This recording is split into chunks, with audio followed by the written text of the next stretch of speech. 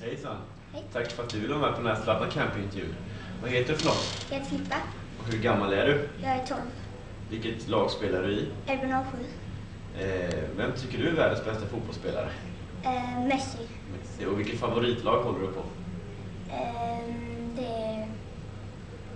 Ja, Brasilien är bra men jag hejar ju på Sverige. Ja, okej. Det är de lagen du gillar.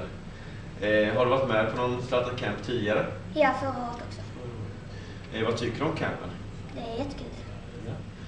Eh, har du lärt dig någonting nytt på campen och i så fall vad?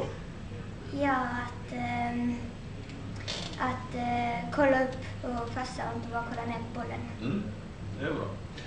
Eh, vad tycker du att du är bäst på att göra på fotbollsplanen? Att eh, dribbla och passningsspel. Mm. Är det någonting du behöver träna på och förbättra som du tycker? Ja, skott. Skottet? Ja, men det är bra. Tack så mycket för intervjun och lycka till de sista dagarna här. Tack.